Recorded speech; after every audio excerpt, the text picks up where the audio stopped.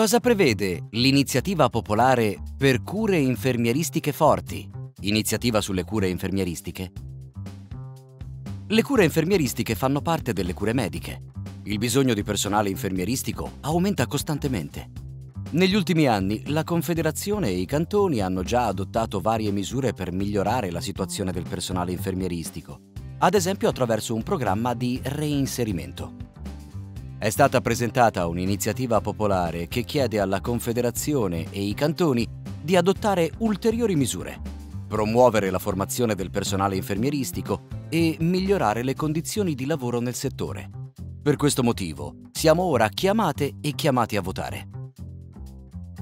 Il Parlamento ha elaborato un controprogetto indiretto all'iniziativa il controprogetto indiretto prevede, ad esempio, che la Confederazione e i cantoni investano circa un miliardo di franchi nei prossimi otto anni per la formazione del personale infermieristico.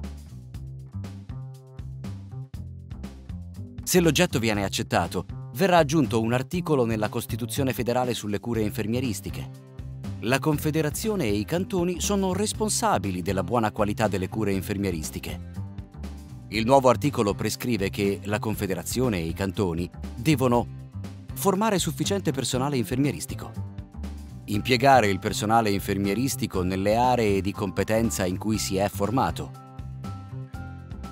Inoltre, la Confederazione deve rendere vincolanti le condizioni di lavoro nel settore infermieristico, ad esempio l'importo degli stipendi, fissare un prezzo più alto per i servizi infermieristici, adottare misure per la formazione continua del personale infermieristico, definire più servizi che il personale infermieristico è autorizzato a fatturare alle casse malati senza un consenso medico.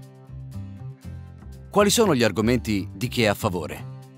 In nessun altro settore ci sono più posti vacanti come in quello infermieristico. Per questo c'è bisogno di più personale. Troppe persone abbandonano la professione le condizioni di lavoro nel settore infermieristico devono quindi migliorare, ad esempio con stipendi equi e più opportunità di sviluppo professionale. C'è bisogno di personale sufficientemente ben formato per garantire la qualità delle cure infermieristiche.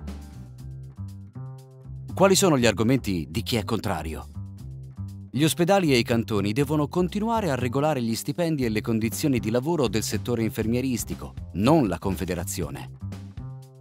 La Costituzione garantisce le cure mediche di base. Le cure infermieristiche non devono essere menzionate separatamente. C'è bisogno di meccanismi di controllo per la fatturazione di servizi infermieristici senza consenso medico, affinché i costi per la salute non aumentino troppo. Se vuoi che l'iniziativa venga accettata, allora vota sì. Se invece vuoi che venga rifiutata, vota no.